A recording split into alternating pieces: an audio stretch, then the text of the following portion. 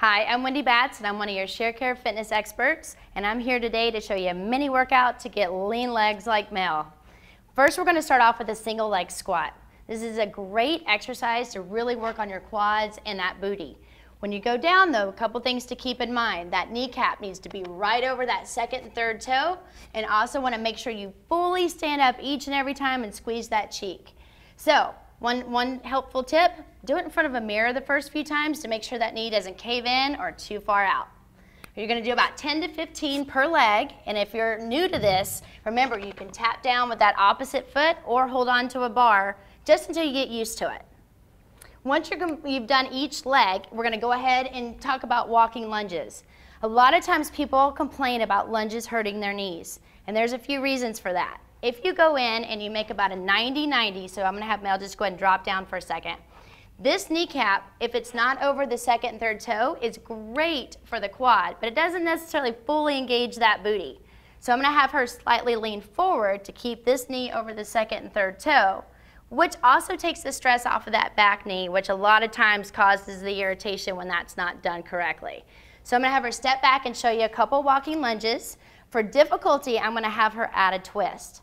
When you twist, you always want to twist towards the side that that leg is coming out on. Once again, you're going to do about 10 to 15 reps per leg. Once you're done with that, we're going to go into the oh so popular jumping jack. The jumping jacks, when you do this, keep that navel in really tight and also make sure to keep those toes pointed forward. This is an awesome way to get that heart rate back up as well. 10 to 15, and let's move on. We're going to go into a deadlift. Oftentimes, these exercises or this particular exercise can cause some pain in the lower back region. That's because people do them incorrectly and they tend to round a lot more in their spine. So will you demo that? So, and then bend over. A lot of, when you see this, this can cause a lot of stress back here. So we, this is a no-no. What we're gonna do is make sure that Mel keeps her shoulders back, that tummy in tight, and she's gonna kind of bend those knees and hinge at the hips. When she comes up, each and every time she's gonna squeeze those cheeks so therefore, she should really feel it in the hamstrings, which is the back of the leg, as well as your glutes.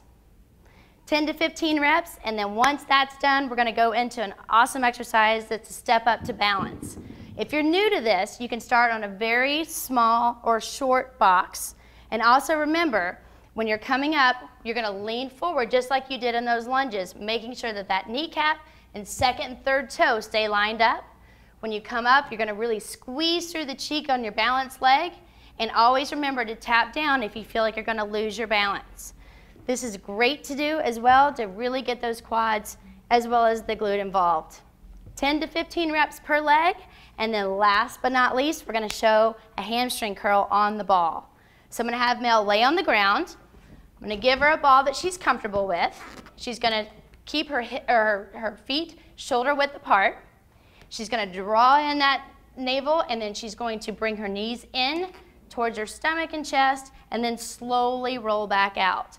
What you want to make sure is when you're doing this that you're making a straight line here, you're keeping this in tight and that these hips don't move up or down. So go ahead and just demo a few, kick it back out. This is a great exercise not only for your core, but also those hamstrings, so the back of those legs. All right? Thank you.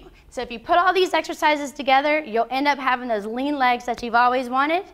And for more helpful tips, don't forget to visit us on sharecare.com.